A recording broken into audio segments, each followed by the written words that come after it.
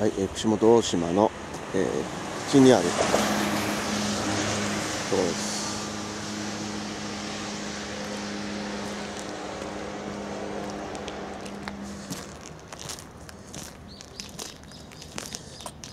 高波を見張るためのカメラを今取り付けているそうです。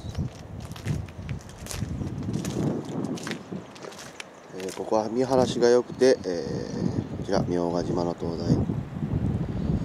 そして、えー向こうが明賀の瀬島。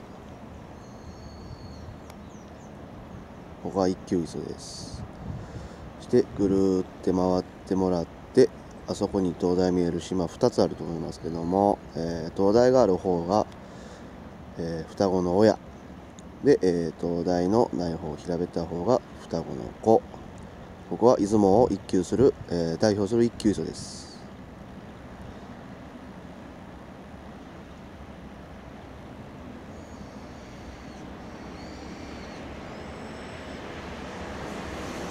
でこの、えー、明賀の明賀島とこの大島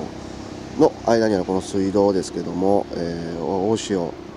潮の干満、えー黒潮の接岸等でここは本当に川のような流れになる時があります、えーと水深もかなり深くて、えーマダイ、